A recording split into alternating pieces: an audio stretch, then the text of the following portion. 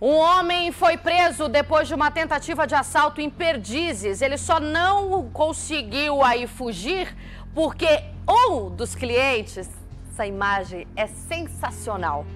Um dos clientes que estava ali no estabelecimento fazendo uma compra, estava de olho na ação do criminoso, manteve a calma para prestar bem atenção na arma. Aí ele viu que o bandido estava com uma arma de brinquedo. Quando ele percebeu que essa arma era de brinquedo, meu querido, esse bandido se deu mal.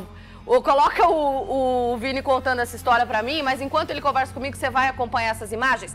Vamos sempre frisar, né, frisar, né, Vini? Reagir nunca é uma opção, mas quando a gente vê bandido se dando mal, dá até um quentinho no coração da gente.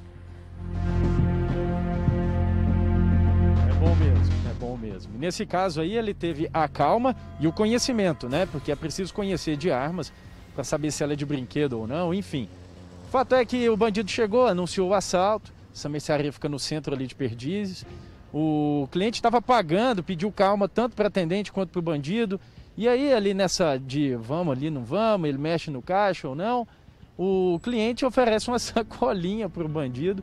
O bandido cai nessa e nesse momento em que ele vai pegar essa sacolinha, ele avança, o cliente nesse, nesse caso, avança sobre o bandido, pega a arma, ele já tinha percebido que era de brinquedo, pega a arma, os dois brigam ali, uma terceira pessoa tenta ajudar, justamente porque o bandido está brigando, talvez essa terceira pessoa nem soubesse que a arma fosse de brinquedo, e aí no final das contas ele acaba tomando a arma. A polícia foi chamada, chegou no local, o bandido já estava sendo ali segurado pelos populares, né? A polícia acabou fazendo a detenção dele, fez a prisão. Esse bandido tem 26 anos e na sacolinha que iria levar o dinheiro seria levado estavam 539 reais.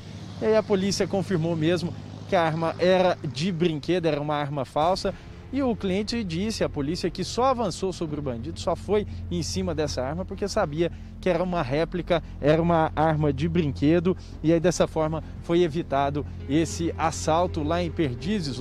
Rapaz foi esperto, teve calma, mas também tinha conhecimento sobre essa questão de armas, né? Não é qualquer um que pode fazer isso não.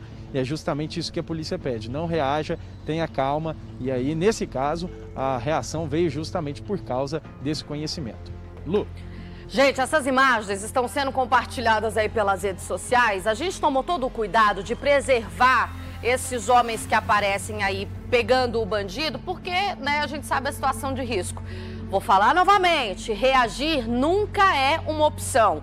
Se essa história aí, vai que esse bandido tivesse com uma arma de verdade, pensou que é falsa, mas não é poderia ter terminado muito mal.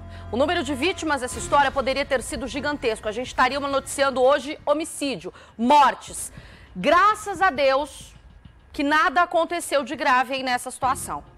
Entretanto, vou pontuar novamente, depois de deixar bem claro que eu não concordo com reagir a ações criminosas, porque a nossa vida vale muito mais, que é maravilhoso quando a gente vê o bandido se dando mal. Olha isso! E tomou um pau bonito seguraram ali o rapaz que estava do lado de fora, veio correndo para ajudar e os dois seguraram firme esse criminoso até a chegada da polícia. As mulheres que estavam no estabelecimento correram para pedir socorro, mas o mais importante foi a gente ver que a todo momento, tanto a moça que foi rendida no balcão quanto esse cliente mantiveram a calma. Ninguém entrou em desespero, todo mundo ficou tranquilo e aí ele esperou o momento em que teve a certeza de que essa arma era de brinquedo e foi para cima. Meu senhor, você toma juízo, pelo amor de Deus. Não faz mais isso não. Mas essa imagem é a coisa mais linda do mundo para mostrar. Não vou mentir, eu, hein? Gosto mesmo de ver bandido sendo preso. E a polícia também atendeu muito rápido a socorrência, deu tudo certo no fim das contas. Eu peço novamente para vocês, juízo.